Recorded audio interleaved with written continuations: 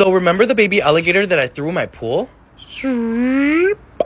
It's time. So I actually kept them separated, and this one grew hella big. Look at the tail. Hella long. Lizard boy literally is humongous. Look at my hand.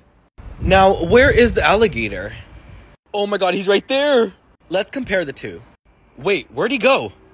Oh my god, he's right there. I guess he's just enjoying the sun. Let's go meet your new friend. I really hope they don't fight. Hey, girl. What's up? Oh, they're holding hands. I guess they're boyfriend and girlfriend now. But look how huge Lizard Boy is compared to the alligator. What should I name her? They feel so slimy, like, I'm not even kidding, it's kind of gross. I mean, should I add more to the collection?